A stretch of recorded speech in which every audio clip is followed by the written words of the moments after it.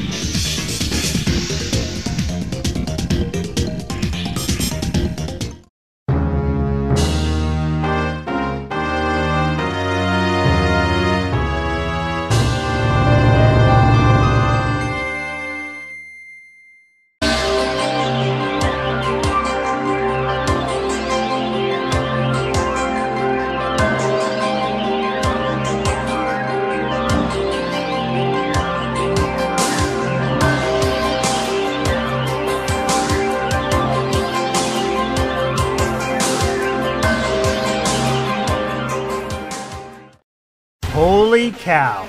That was amazingly epic, especially in the third act. I know, the episode was supposed to be focused on Princess Luna and the quest to stop the Tantabus, but the animators went completely nuts giving us various visual scenes of awesomeness.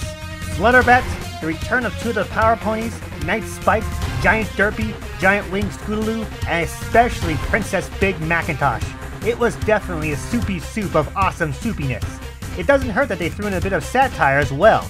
Case in point. We are such happy flowers. We will now sing for hours. Aren't we unbearably cute? Watch me solo on jazz flute.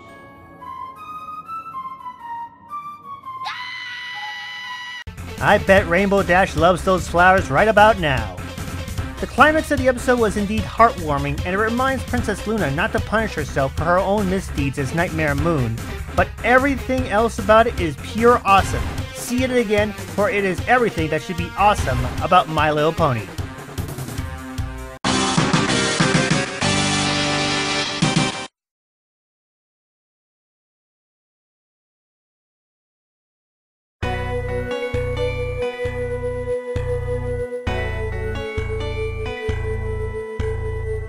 You don't seem concerned for Daimando.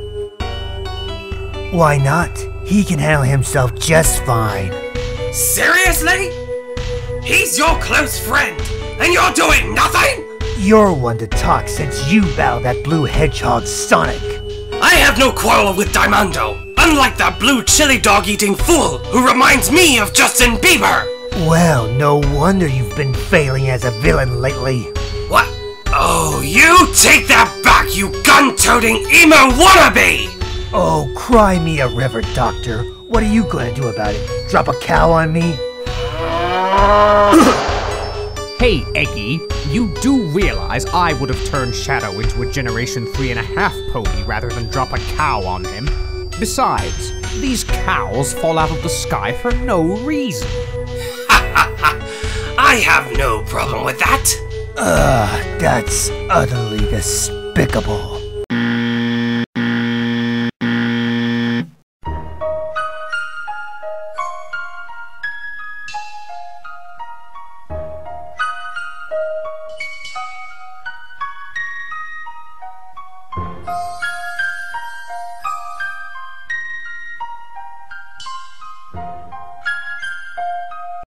Did you really think you've seen the last of Gray Mann?